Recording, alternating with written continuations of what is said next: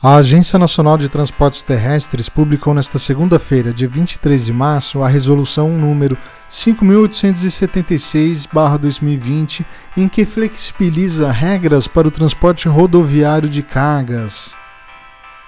Destaque para as seguintes alterações: ampliação do prazo de validade dos certificados do Registro Nacional de Transportadores Rodoviários de Cargas, o famoso RNTRC até o dia 31 de julho deste ano. Os vencimentos estavam previstos para entre 1 de março e 30 de junho, ou seja, o prazo foi esticado em pelo menos um mês.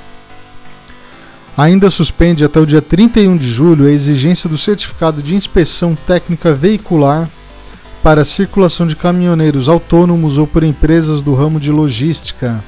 Dispensa também a emissão do código identificador de operação de transporte, realizada pelo cadastramento da operação de transporte nos casos de contratação de TAC ou TAC equiparado por pessoas físicas para o transporte de cargas. As atividades dos postos com balança de pesagem nas rodovias federais concedidas estão suspensas e têm como objetivo evitar um maior tempo de retenção e de contato entre os profissionais do transporte de cargas. Mudando de assunto, o Ministério Público Federal solicitou ontem, dia 23 de março, que em 24 horas a NTT e a Anvisa informem quais medidas estão sendo adotadas para a instalação de barreiras sanitárias nas rodovias interestaduais que ligam a Paraíba aos vizinhos estados do Rio Grande do Norte, Pernambuco e Ceará, onde os casos de contágio por coronavírus estão se alastrando.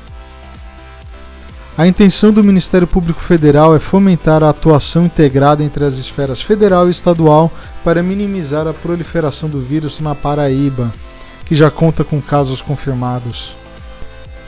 Vamos falar agora também rapidamente sobre os impactos econômicos que podem ser drásticos para a região da América Latina e do Caribe. Considerando que a China, no ano 2000, consumia produtos e serviços dessas duas regiões em torno de 12 bilhões de dólares e em 2018 já eram de 306 bilhões de dólares, a China garante uma posição de importante parceiro, sendo o segundo maior da região. Há três anos, a China representava 9% das exportações totais da América Latina, mas especificamente no caso do Brasil, representa 28,1% das exportações brasileiras. 10,5% das exportações argentinas e 32,4% das exportações chilenas. Considerando os seis principais parceiros da China na América Latina, que são Brasil, Argentina, Chile, Peru, Colômbia e Venezuela, as exportações estão concentradas em quatro produtos basicamente: cobre, soja, petróleo bruto e minério de ferro. Eles respondem 75% das exportações do nosso continente para a China. Para se ter uma noção da importância da China para os negócios na América do Sul, na América Latina, o país asiático emprestou 141 bilhões de dólares desde 2005 para os países da região, o que é um volume muito maior do que o Banco Mundial emprestou. Somente a Venezuela responde por 67,2 bilhões de dólares emprestados desde 2005 seguido pelo Brasil, que emprestou dos chineses 28,9 bilhões de dólares. O Programa das Nações Unidas para o Desenvolvimento, PNUD, projeta que esse choque certamente afetará o comércio, os preços das commodities e o investimento estrangeiro direto na América Latina e no Caribe. Em termos de comércio, isso se refere a uma diminuição na demanda chinesa por bens e serviços com forte impacto em países como Brasil, Chile e Peru. Sabemos que a história mostra que na América Latina e no Caribe a volatilidade é enorme, não exceção. As trajetórias de desenvolvimento dos países não são nada lineares.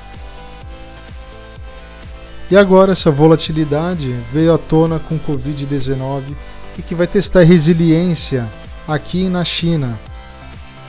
E teremos a oportunidade de ver como os governos inclusive o nosso do Brasil, como eles se sairão dessa crise.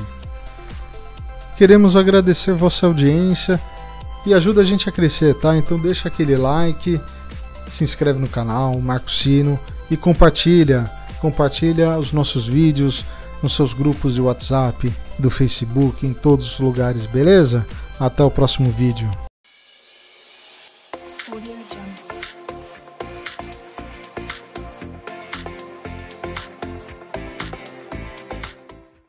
Olá pessoal, JB Frota Parceira, iniciando mais uma temporada aí de treinamentos 2020, uma turnê fantástica, iniciando aí pelo Sul, Sudeste, Nordeste, Norte, Centro-Oeste. Nós vamos ter hoje, daqui para frente nós teremos aí o Tandem MD145, tá?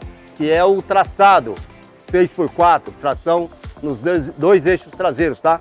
E temos também ali atrás, nós temos o MS155, que é para ônibus e caminhão urbano. Esse aqui é a condição mais severa, aquela condição mais amena.